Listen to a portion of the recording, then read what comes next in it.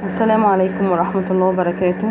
طالبات الحبيبات طالبات الصف السادس نستكمل اليوم الجزء الثاني من درس إيجاد الكل بمعلومية الجزء والنسبة المئوية. نستطيع من خلال الدرس إيجاد الكل بمعلومية الجزء والنسبة المئوية. نفتح مع بعض بيج 191 نقرأ مثال 2 باع طلاب أحد الصفوف تذاكر لعرض مسرحي مدرسي. بلغت نسبة ما باعوه 200% من عدد التذاكر التي باعوها في العام الماضي ما عدد التذاكر التي باعها الطلاب العام الماضي. أوجد العدد الذي 200% منه يساوي 40 أول طريقة عندنا لدينا طريقتين. طريقة مخطط الأعداد المزدوج وطريقة كتابة المعادلة. أولا الطريقة الأولى باستعمال مخطط خط الأعداد المزدوج. نلاحظ أن الخط الأولاني يبدأ من 0% وينتهي عند 200% الخط الأعداد الثاني يبدأ من ال zero وينتهي عند ال forty نقسم 40 divide 10 والتن هو التدريج الممثل على خط الأعداد الثاني equal 4 إذا كل علامة تدرج تمثل زيادة مقدارها 4 في المخطط الثاني.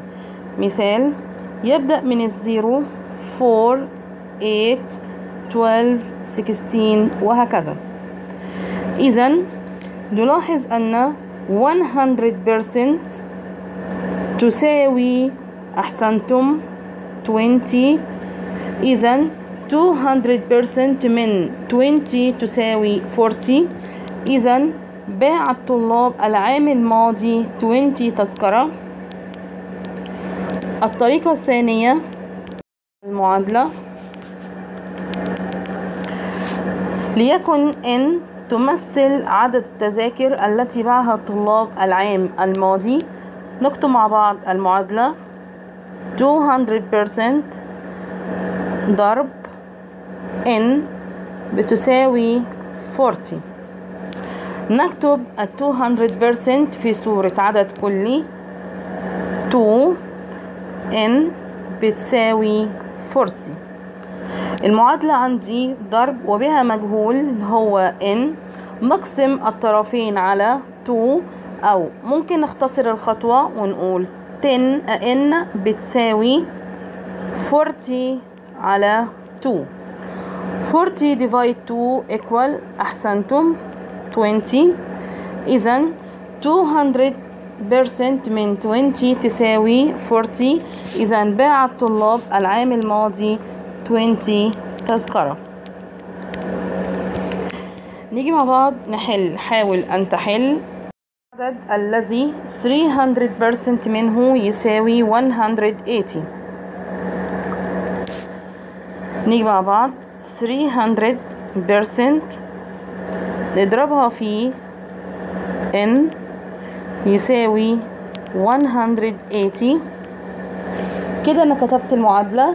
اتفقنا إن إحنا نحول النسبة المئوية إلى عدد كلي أو نضعها في صورة عدد كلي يعني نكتبها 3 n equal 180 المعادلة ضرب وبها مجهول إذا نحولها إلى قسمة إذا n بتساوي 180 over 3 180 divide 3 equal أحسنتم. 60 نيجي مع بعض نحل سؤال 13 بيج 193 ما العدد الذي 700% منه يساوي 1540 نكتب المعادلة وهي الطريقة الأفضل بالنسبة لنا. 700%